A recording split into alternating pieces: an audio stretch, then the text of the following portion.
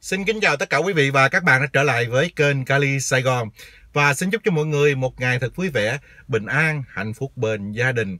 Riêng các bạn bên Việt Nam thì hiện giờ sức khỏe là nhiều nhất. Vâng, Cali Sài Gòn mong rằng quý vị hãy giữ gìn sức khỏe và mong đại dịch qua mau để chúng ta trở về một cuộc sống bình thường như ngày nào không các bạn. Vâng, à, hôm nay chúng ta chia sẻ về nữ danh hài Việt Hương. Việt Hương gần đây, trong à, hai tháng gần đây thì à, đã bất chấp mọi nguy hiểm cùng với ông xã là Hoài Phương đi đó đây để trao những phần quà, những gì cần thiết nhất đến người dân, những nơi dùng phong tỏa mà không ngại sớm nắng chiều mưa và cũng không ngại dịch bệnh. À, Việt Hương đã đi đến à, tận những nơi đó để đem lại sự hạnh phúc mà những gì mà người dân đang cần thiết nhất trong mùa Covid-19 này rất nhiều người ngưỡng mộ với à, tấm lòng từ thiện của Việt Hương. Đó thì ai cũng biết hết trơn rồi. Và cao cả hơn nữa là dùng số tiền của bản của chính bản thân mình chứ không phải là kêu gọi bất kỳ ai. À, Việt Hương làm theo cái à, khả năng trong khả năng của mình và giúp được bao nhiêu thì giúp. Đó là cái à, sự mà nhân văn mà ai nấy đều kính trọng và ngưỡng mộ Việt Hương. À, một cái tờ báo ở Việt Nam à, mới đây à, xôn xao với hình ảnh mà lúc Việt Hương mới có mười mấy tuổi mà thôi làm khán giả rất là thích thú. Và hôm nay chúng ta chia sẻ những hình ảnh đó và những lời của tờ báo viết các bạn nha. Thưa vâng à, Việt Hương là nữ danh hài nhận được rất nhiều sự quan tâm của khán giả không chỉ vì sự nghiệp thành công mà còn bởi tấm lòng nhân hậu luôn yêu thương giúp đỡ những hoàn cảnh khó khăn. Đặc biệt khán giả còn không ít lần nhầm lẫn cô là bà xã của danh hài Hoài Linh khi thường xuyên đóng với nhau là vợ chồng. Trên trang cá nhân Facebook mới đây, Việt Hương gây xôn xao khi chia sẻ hình ảnh năm 16 tuổi. Ngoại hình thực sự của cô khi đó quả thật là dọa khán giả một phen. Trong hình ảnh, Việt Hương khi đó mới có 16 tuổi mà thôi, đã chạy show ca nhạc.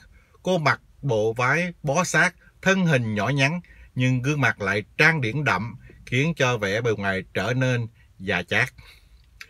Bị dân tình la ó chuyện bị make up diêm, bà xã Hoài Phương vui vẻ giải thích. Lúc đó thì 16 tuổi, à, mà gương mặt đã già chát rồi, đã vậy trang điểm, cặp mắt xanh lên tới chân mày. Mấy nhỏ em make up, chắc nó đã cái nư mắt xanh em lắm. Dù trang điểm lúc đó trông hơi kỳ lạ, nhưng Việt Hương lại tự tin, khẳng định đó là kiểu thịnh hành nhất lúc bấy giờ. Thậm chí còn nhờ khán giả đồng trang lứa xác thực lời mình nói. Theo đó, chắc chắn thời đó gu thời trang của các mẹ và các cô rất mặn mà, chín chắn trước tuổi. Ảnh năm 16 tuổi bị nhận xét hơi uh, dữ, nhưng ảnh của Việt Hương lúc 19 tuổi lại khiến ai đều nấy đều kinh ngạc vì nữ danh hài như bị lão hóa ngược. Hình ảnh này do đạo diễn Vũ Ngọc Đăng chụp. Việt Hương chỉ cần thay đổi kiểu tóc, búi hai bên, à, trang điểm nhẹ nhàng cùng với bộ váy xanh nền nã là bỗng chốc hóa thành cô bé 12-13 tuổi.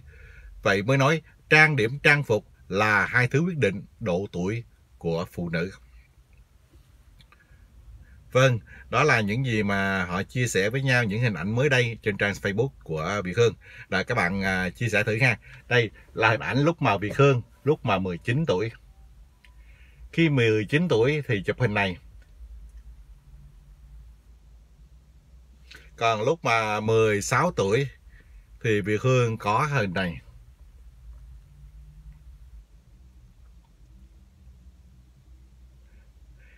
Thì người ta nói uh, lão khóa là đúng quá rồi còn gì nữa. 16 tuổi lúc đó make up thì hơi quá dài dặn mắt xanh thì lên tới cả chân mày luôn.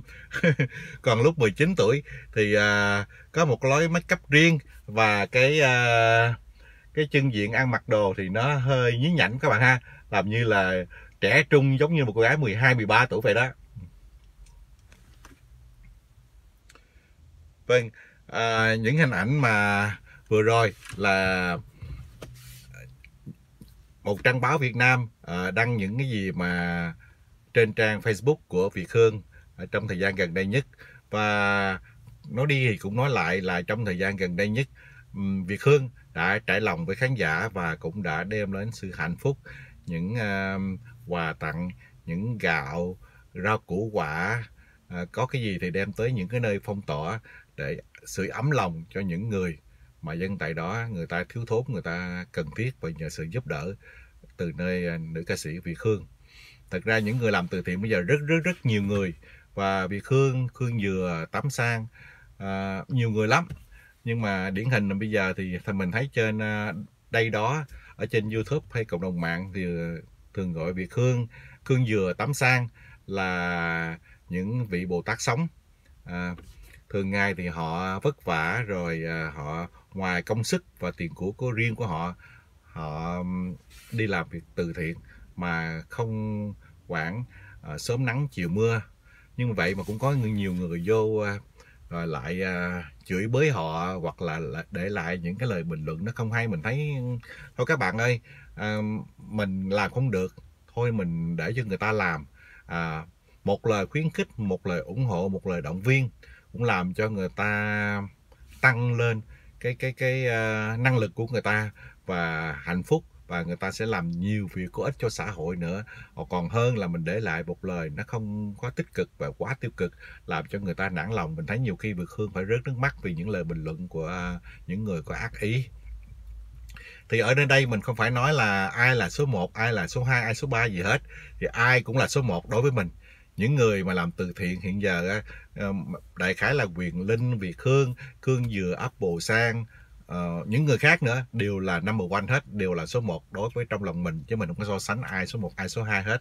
À, vâng cảm ơn tất cả các bạn đã cùng với mình chia sẻ à, về Việt Hương một nữ danh hài có tấm lòng Bồ Tát đối với lại uh, tất cả những người dân trong cái thời nạn mà Covid-19 đang hoành hành ở Sài Gòn nói riêng và cả nước nói chung. Cảm ơn các bạn và xin chào, hẹn gặp lại.